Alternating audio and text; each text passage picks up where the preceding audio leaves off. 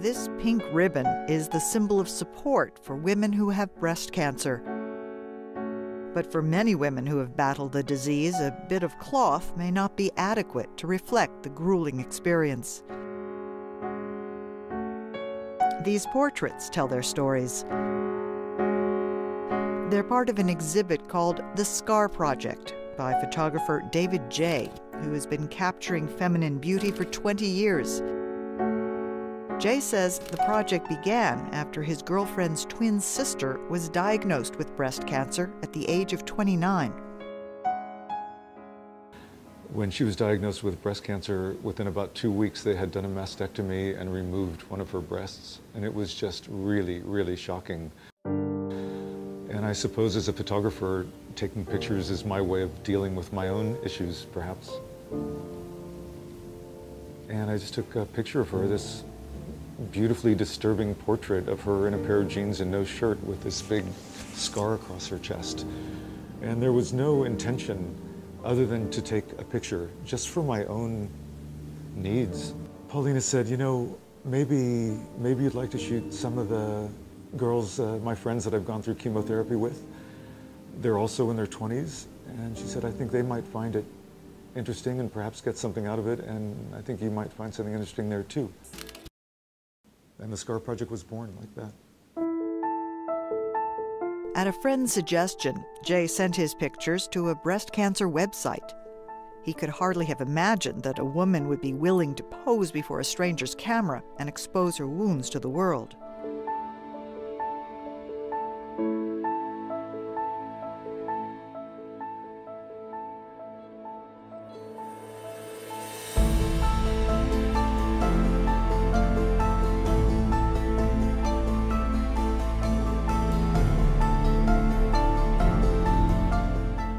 Honestly didn't know if A, anyone would ever want their picture taken, or B, if anyone would want to look at the pictures after they were taken. I was really shocked in a positive way to the response. Thousands and thousands of emails of young women and older women up to 80 who wanted to participate in the SCAR project and have their portrait taken. And uh, at the time I thought this is probably perhaps it'll best serve as a awareness raising campaign for young women because 99% of the media out there in the world is focused on women certainly over 40 and most over 50.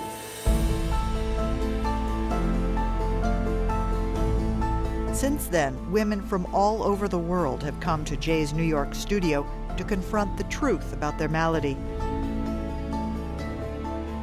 And Jay also travels to photograph willing cancer survivors who are physically or financially unable to come to him. And I actually prefer that. I like shooting them in their own environment. There's just something very honest about it, and there's this beautiful connection of them in their own space, and I think they have more impact that way as well. But I've shot Latin, African American, African, Indian, um, every possible racial or ethnic variety that I've been able to. And I think these, uh, some of these women are exceptionally strong.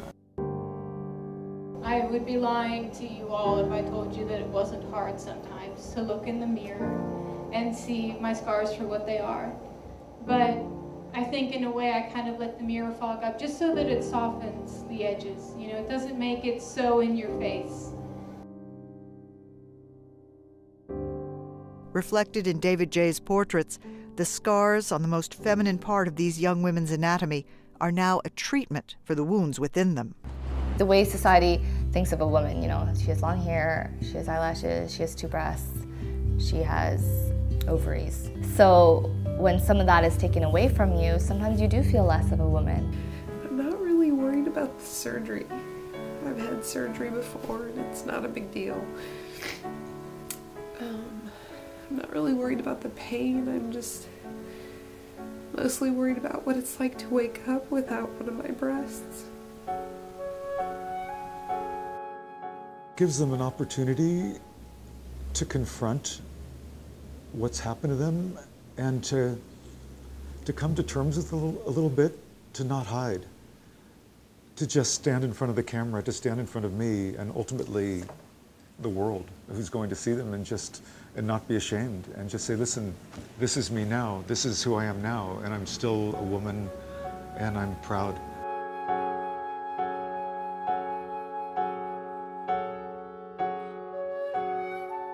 The pictures have transformed fear and disappointment into pride and resilience. In Jay's portraits, the beauty of women who have endured horrible pain looks straight into your eyes. In general, I don't want them smiling, laughing, because I don't think it's really honest. I don't think it's how they really feel necessarily about their situation. I don't think they get up in the morning and look in the mirror and go, wow, that's fantastic, look at me. Although I hope they do.